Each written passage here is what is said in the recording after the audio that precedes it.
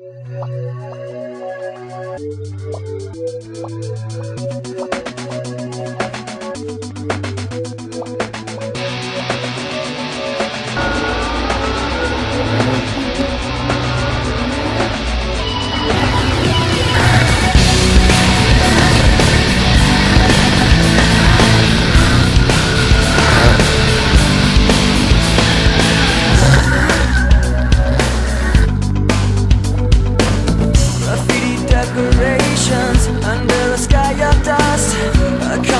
Of tension, on top of broken trust. Lessons that you taught me.